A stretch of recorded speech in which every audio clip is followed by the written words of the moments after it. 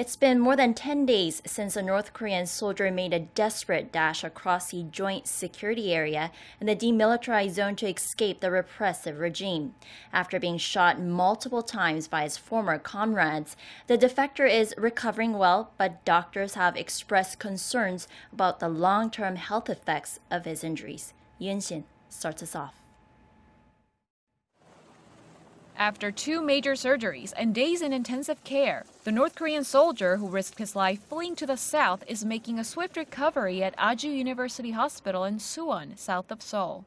The 24 year old soldier, identified only by his family name Oh, was shot five times by his former comrades when he sprinted across the military demarcation line on November 13th.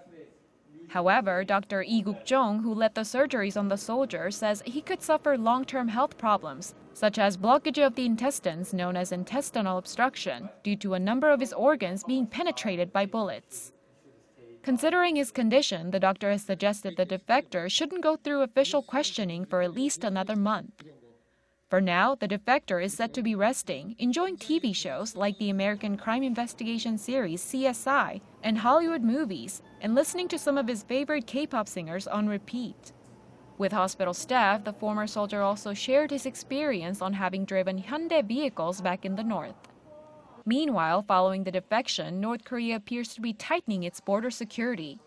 A picture posted on Twitter by Marc Knapper, the acting U.S. ambassador to South Korea, shows North Korean workers digging a trench on the northern side of the joint security area. Shin, Arirang News.